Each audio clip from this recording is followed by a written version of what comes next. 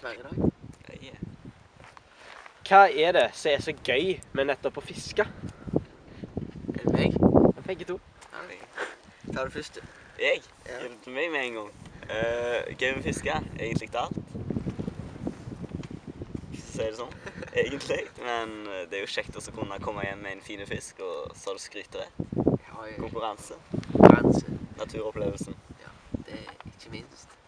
Konkurranse mellom kompisene, det, det er rått. I hvert fall når du vinner. For få ungdommer òg som er ute og fisker. At eh, dere møter nesten aldri noen andre. Det er ganske lite ungdommer, syns jeg. Ja, ja. Men vi er jo ikke så mange her i Skudenesområdet. Sånn. Men det er jo en gjeng på Kopervik-området, var det ikke? Aner ikke. hvor jeg er i hvert fall. Men eh, så lenge vi har noen å fiske med her, så er vi fornøyd. Så er det ikke så mange som tar fisken. Hvordan beskriver dere den perfekte fisketuren? Fint vær og mye fisk. Ja. Blikkstilt. Storfisken vaker. Har med stormkjøkkenet.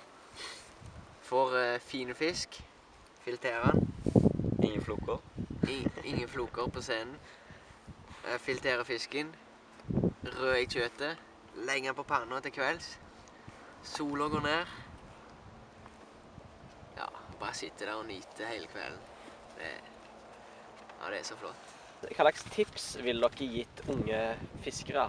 Nei, da er det komme seg ut på Svarbergen og fiske opp noen lyr og kose seg og ta med noe fisk hjem til mor og så hun blir glad. Få det ut på Facebook. Ja. Eh, Hvilken type fiske foretrekker dere? Ferskvannsfiske eller saltvannsfiske? Eller begge deler? Jeg er nok mest på havfiske, egentlig. Men jeg er jo like glad i alt. Det er bare at det blir mest eh, havfiske når jeg bor nærmest sjøen. ja. Her i Skudenes så er det jo best havfiske, men eh, litt av hvert må jeg ha. Må Kan ikke, kan ikke bare fiske, liksom. I hvert fall ikke hvis du bor her. Da kan ikke Det er ikke noe så bra ferskvannsfiske her, så må kjøre litt storfisk ut i sjøen. Ta fra laks og litt sjøørret og kjøre litt lyr. Ja, ja. Og eh, hvorfor hobbyen å fiske?